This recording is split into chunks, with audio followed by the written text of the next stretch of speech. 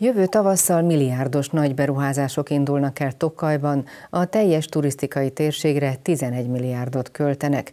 A kerékpáros infrastruktúra, valamint a Felső Tisza víziturizmusának komplex fejlesztése is forráshoz jutott. Ez érinti Szabolcs-Szatmár-Bereg megyét is. Emellett az Erzsébet királyné hídjának felújítása is elkezdődhet a következő év tavaszán. Posta György, Tokaj polgármester a vendégünk. Jó estét kívánok! Köszönöm. Jó estét kívánok! Nos, hát akkor részletezzük ezeket a jó híreket. Milyen ö, fejlesztési elemek kerültek bele ebbe a programba? Ugye talán a legfontosabb, ami folytatása a Nyíregyháza-Tokaj kerékpárútnak, az Erzsébet király négyjának a teljes rekonstrukciója, ami azt jelenti, hogy egy kerékpáros konzol fog készülni a híd egyik oldalára, északi oldalára, a dél oldalára pedig egy gyalogos konzol. Az egész híd rekonstrukciója azt a célt szolgálja, hogy a kerékpárosok biztonságosan át tudjanak jönni a már meglévő tokai kerékpárúthálózatba, és az azt jelenti, hogy a béka háznál, az úgynevezett békaháznál véget érő kerékpárút most már teljesen becsatlakozik majd Tokajba, és nem csak a, a híd teljes rekonstrukcióra kerül sor, hanem a körforgónak a teljes rekonstrukciójára. Az egy nagyon szűk keresztmetszete a város életének, elég kicsi a, a körforgó, és ennek az biztonságos, biztonságosabb tételére készül majd el a, a teljes rekonstrukció, úgyhogy ez mindenképpen egy nagyon örvendetes esemény lesz a közeljövőben. közeljövőben. Ami még ide tartozik a kiemelt turisztikai beruházásokhoz, az azt jelenti, hogy elindulhat azok a, azok a fejlesztések, amit mi úgy hívunk, hogy a sziget fejlesztése. Ez a Tisza és a Bodrog összefolyásánál lévő terület, ahol reményeink szerint aztól elkezdődhetnek majd a beruházások. Ez érinti a még egyetlen Rákóczi várat, ami nem látható, ugye ezt maga Rákóczi Ferenc romboltatta el, ennek a megújítására két bástya, az első ütemben két bástya fog elkészülni ennek a projektnek a keretén belül, illetve reményeink szerint a szeviai pavilon, Makovec címének az alkotása, ami Szeviában van, annak a másolata fog megépülni a Tisza és a Bodrog találkozásánál. Makovec címre maga találta ki azt, hogy ezt, amikor elbontó, úgy volt, hogy elbontódik Szeviába, akkor a, a, a, a Dunán és a, fel, a Tiszán felhajózva Tokajba az összefolyáson kell majd újraépíteni.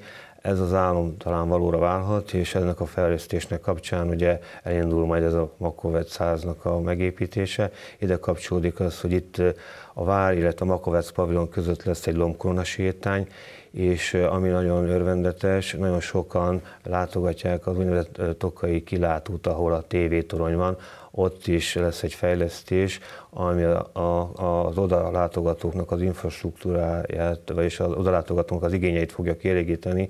Itt arra kell gondolni, hogy büfé, szálláshely, illetve egy kilátópont fog létesülni fönt ott a, a tévétoronynál, és reményeink szerint az ide látogató turisták most olyan szolgáltatásokat fognak kapni, amit eddig nem, és bízunk benne, hogy ez még több embert fog oda csalogatni a, a, a Tokai tévétoronyba. A Szevélyai pavilonnak mi lesz a funkciója?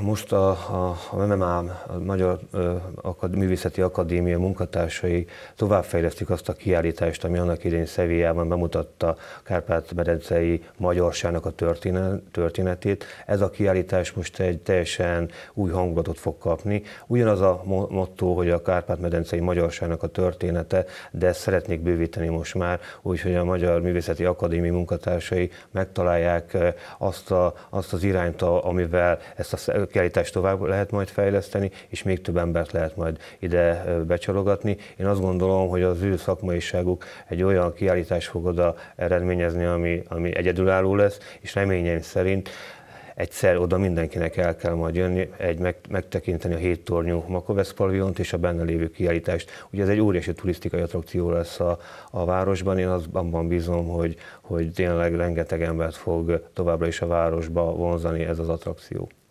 Ami eddig is egy nagyon szűk keresztmetszete volt Tokajnak, az a szálláshelyek mennyisége. Ebben a projektben említette, hogy a kilátó környékén épülnek szálláshelyek, de lesznek-e további szállodaépítések? Ugye ennek a kiemelt turisztikai beruházásnak a része az úgynevezett kisfaludi terv, ami kimondottan csak szálláshelyfejlesztésekre irányul. Meglévő szálláshelyek fejlesztését is fogja támogatni a kormányzat, illetve új szálláshelyek fejlesztésé is napi renden van.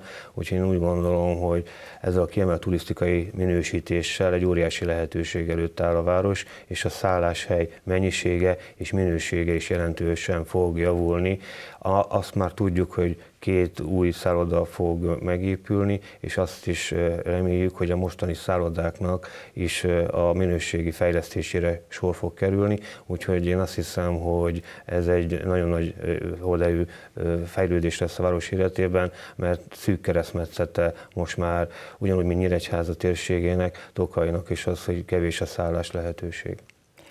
A program keretében Szabolcs-Szatmár megye is érintett bizonyos fejlesztésekben. Mik ezek a Ugye ez pontok? egy közös fejlesztés, ez a vízi, vízi kikötő pontoknak a fejlesztése, amit a Magyar Kenu Szövetséggel közösen hajtunk végre. Ez jelentős, jelentősen érinti Szabolcs-Szatmár megyét is. Ugye a régi Tiszatúráknak a felidézés a, a fő cél, és azok a kikötőpontok, amelyek a Tiszatúra jellemzőek voltak, itt fejlesztési forrásokhoz jutnak. Egészen és Tiszabecstől Tokaig? Egészen Tiszabecstől Tokaig. Tokajban lesz az egyik végpontja ennek a fejlesztésnek, ott egy zöldmezős beruházás keretén belül egy vízi sportközpont fog létesülni. Ez nem csak a felső Tiszavidéket fogja kiszolgálni, hanem a Bodrogon lévő víziturizmus is ki fogja szolgálni. Sarospatak és Tokaj között rendszeres vizitúrák lesznek, és ennek is a végpontja lesz. Úgyhogy ez egy, úgy gondolom, hogy egy olyan fejlesztés lesz, ami, ami tényleg vissza fogja csalogatni az embereket a vízre.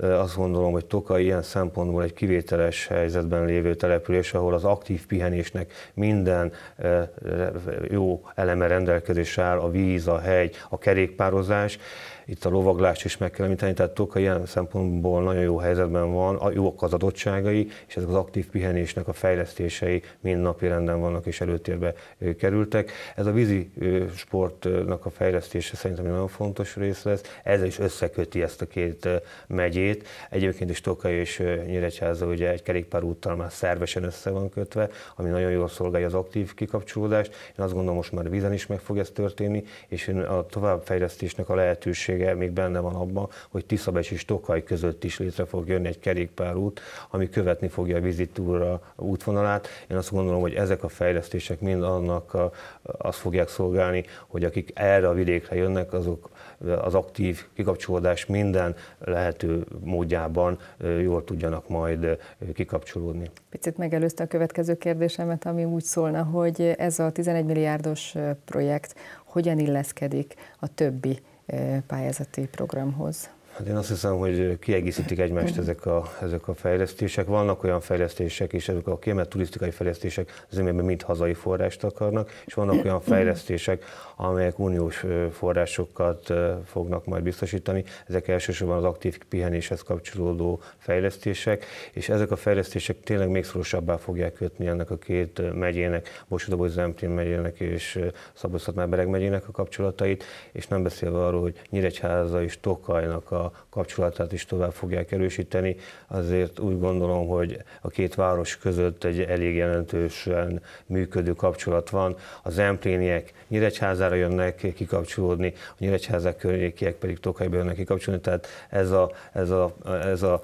oda-vissza csatolás ez szerintem tovább fog erősödni, és én meggyőződésem az, hogy egymást erősítve nagyon szép dolgokat fogunk megvalósítani. Elég sok szereplős ez a projekt.